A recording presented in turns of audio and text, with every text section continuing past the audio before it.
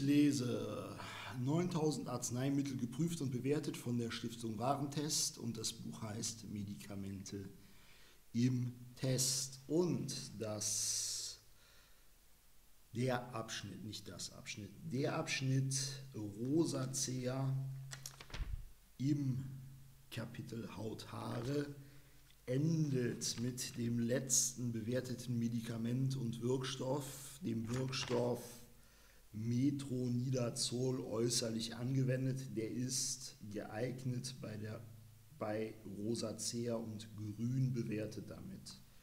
Im Ampelsystem der Stiftung Warentest. Metronidazol in Klammern äußerlich. Die Arznei wirkt vor allem antientzündlich und vermindert dadurch die Anzahl entzündlicher Knötchen und Pusteln die Haut ist nicht mehr so rot. Grün geeignet bei Rosacea. Der erläuternde Text. Die therapeutische Wirksamkeit von Metronidazol bei der Behandlung der Rosacea ist ausreichend belegt. Wichtig zu wissen, Länger als sechs bis maximal zwölf Wochen sollten Sie die Arznei nicht anwenden, es sei denn, der Arzt hat dies ausdrücklich empfohlen. Bessert sich der Hautzustand in dieser Zeit nicht merklich, sollten Sie die Behandlung abbrechen.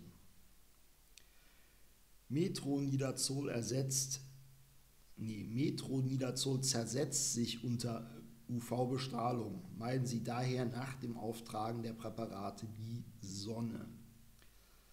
Die Arznei kann die Haut austrocknen. Insbesondere zu Beginn der Behandlung kann diese sich röten und brennen.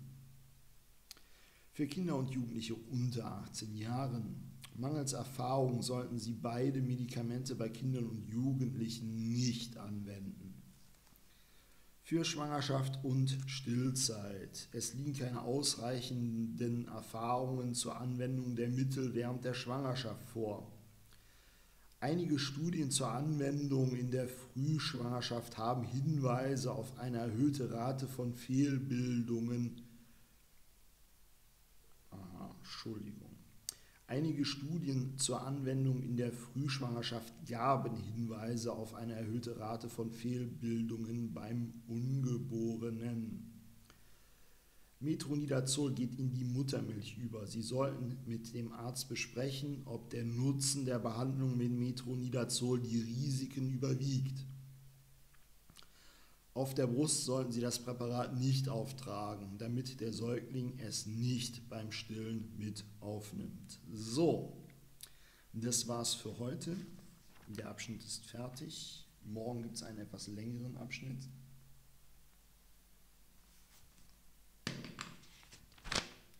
Da geht es um Schuppenflechte. So, hier kommt mein Schmierpapier rein.